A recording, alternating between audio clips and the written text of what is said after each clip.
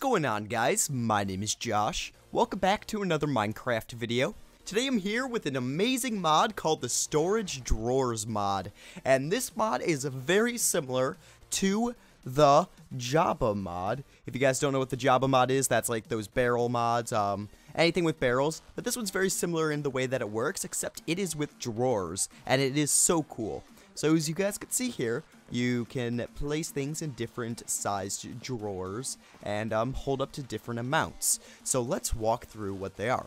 So as you guys can see here, there is an oak drawer, which is a 2x2. Then there is a compact drawer, which is a uh, 1x2. Then there is a compact drawer, which is a 2x2. And then there is also a um, drawer, let's see, drawer, which is a oak drawer, a 1 by 2 oak drawer. Let's place that right there, which I forgot to place down, but this is a 1 by 2 oak drawer.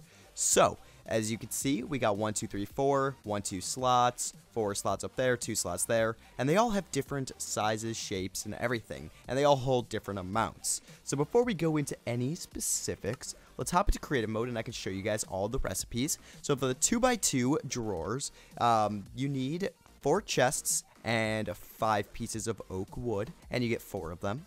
Uh, for the 1x2 drawers, you get, what is that, uh, 3, 6, 7 chest, or a plate, uh, 7 planks of wood and 2 chests, and you get 2 oak drawers.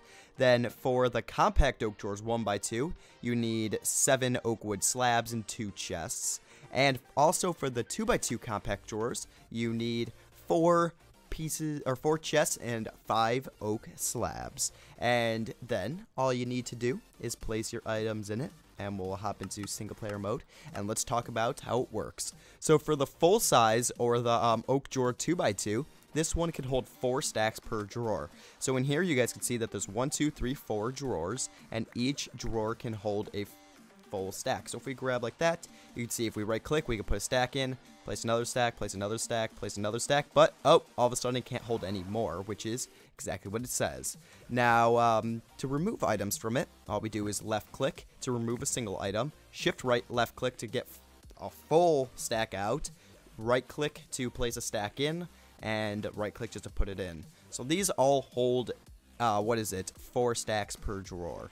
Now this guy actually holds eight stacks per drawer, and there's two drawers, which is kind of cool. So if we were to grab, um, let's see, clay like that, you can see that we can place a lot of clay in there. And let's grab another few stacks. Boom, boom. And that's eight stacks in there at the full potential. Now here, this compact oak drawer 1x2, this holds 4 stacks per drawer, which is similar to this guy. And it's very simple, I'm not going to explain that anymore. Up here, this is a 2x2 um, uh, compact drawer, and this holds two stacks per drawer. And you can see in here, I've just got different amounts in each drawer, and here's just a display of our different items. But that's pretty much what this mod adds into the game. It's a very simple storage mod. It looks cool. It um, has cool functions. I really, really like the way that um, it incorporates like the displaying of items and also compacting and holding items in a smaller area. Now, breaking it is kind of weird. You can see it takes a really long time to break, and sometimes, at least when I was in creative mode, it wouldn't actually break and give me the items. It would just keep breaking and duplicating. Okay, there we go. So it's actually giving me the items now, which is cool. All right. Well, anyway, guys, uh, that's pretty much what I have for you in this video. If you did, could you, right, if you guys enjoyed, could you please leave a rating? Let me know how I did, and I will see you all in the next one. Bye.